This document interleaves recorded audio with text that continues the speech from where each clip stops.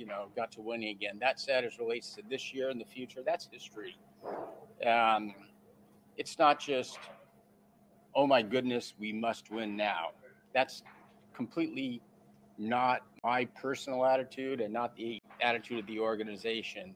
He did say that obviously they're looking to contend for a World Series and said all the right things in that regard.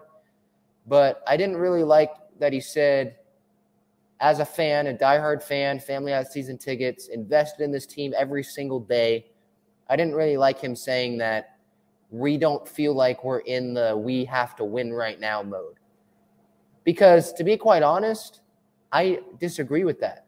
What's the point of having Manny Machado in his prime and and spending money last year and trading for Snell and Darvish and giving Clevinger that extension so that he can pitch this year despite having Tommy John last year?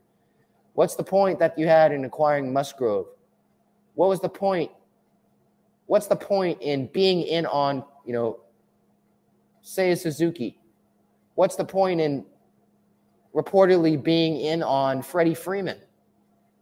What's the point in all that if you're not trying to win right now? What's the point of hiring Bob Melvin as the manager? A guy that has postseason experience and a guy who believes that the Padres should be winning right now. And that's why he took this managing manager job.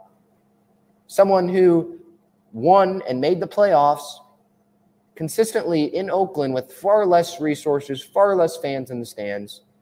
I just disagree with that sentiment that the Padres don't think they should be in this we should win right now mode. Because I think the players would say we are in the win right now mode.